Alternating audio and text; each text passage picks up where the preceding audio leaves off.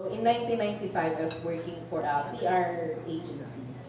And we were tasked to create a journalism scholarship program for Jardine Davis. So we wanted to make it a unique scholarship program because we didn't think it would happen again. Parang one time type. So what we did was we wanted to find poor but deserving journalism students who had passed the UCAT but would not go to UP because they couldn't afford it even if the tuition was free. So we worked with the college to uh, find these students and we sent them letters uh, encouraging them to apply for the scholarship. So we got all sorts of letters from all over the country. But one day we got one application that uh, was hand-delivered to us. Um, it was uh, sa araw. So, wrinkly na yung paper. The essay was unreadable because it was soaked in water.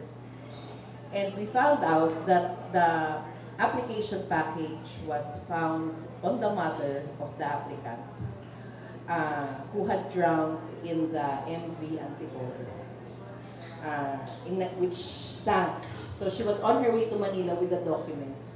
And she was found clutching the envelope holding the documents.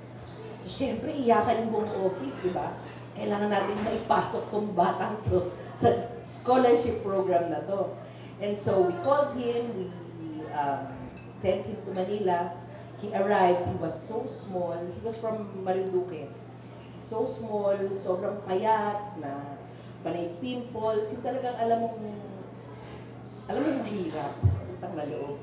So sabi namin, Diyos ko, paano natin ito palulusutin? So kinoach namin ng kinoach the final uh, interviews were going to be conducted by Max, Max Sullivan, si apat na editors yung kinuha namin eh, si Max Sullivan, si Teddy Boy Locsin, si Malu Mangahas, and Letty Magsano. So sobrang stringent ng magiging application process. They were billeted in the Mandarin Oriental. We even had to teach them how to use the hot shower, how to flush properly. Talagang grabe yung pinagdaanan nilang ano. But we were determined that this boy was going to get in. And he did. So he was able to, um, it was a very generous package. May lahat ng housing, books, meron silang living allowance. We even made sure that they had um, vacation money para pag Christmas makakauwi sa sila sa pamilya nila kasi that's important for mental health of the students. And then, talagang we held their hands through their first year. Nabuli pa ito ng mga taga-kalayaan, pinapag-shine siya ng boots. Naku, sinugod talaga namin sa dorm yung mga bully niya at inaway namin. Tapos, with, you know, we check in with them every few months. And he made it.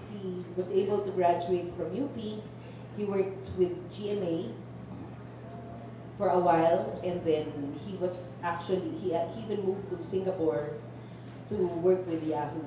So we were so proud, and you know, every year we'd catch up, he's now married. Uh, and then he moved back to the Philippines recently um, to head PLDT's communication. So we're so, um, ito yung talagang namatay ng dahil sa kanya yung nanay. So nung iniisip ko nga, sabi ko, ano ba yung namata, mamatay ng dahil sa'yo? Ito yung hinatid siya, yung huling act ng nanay niya. Is ihatid siya sa future na kung nasan siya. So now he's with PLDT, he's happily married, his name is Edric Adair.